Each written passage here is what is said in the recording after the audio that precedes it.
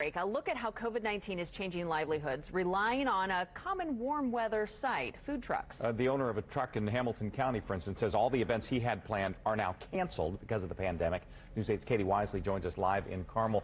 Uh, that uh, truck owner is now taking a part-time job to make ends meet, Katie?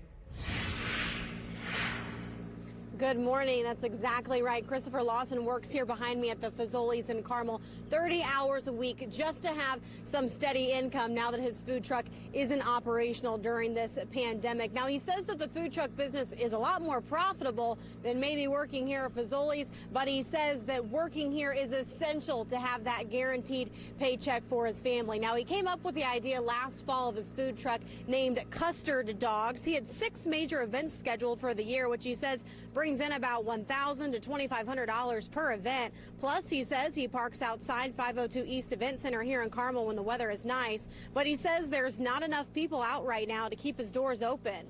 It doesn't really help too much uh, having so much uh, shut down. So if we go park someplace, there's no foot traffic, no place. So you're just wasting revenue and time sitting in a place and preparing the food and then you have no business, then uh, you're, you're kind of stuck at that point.